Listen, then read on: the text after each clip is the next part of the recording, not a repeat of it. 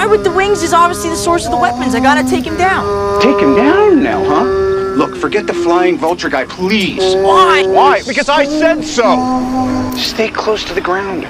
Build up your game. Can't you just be a Friendly neighborhood Spider-Man. But I'm ready for more than that now.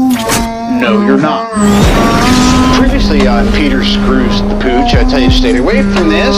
Instead, you hacked a multi-million dollar suit so you could sneak around behind my back to the one thing I told you not to do. Is everyone okay? No thanks to you. No thanks to me. Those weapons are out there, and I tried to tell you about it, but you didn't listen. None of this would have happened if you had just listened to me. If you even could you'd actually be here. I did listen, kid. Who do you think called the FBI, huh?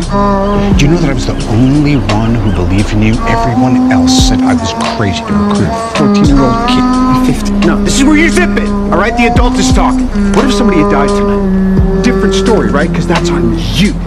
And if you died, I feel like that's on me.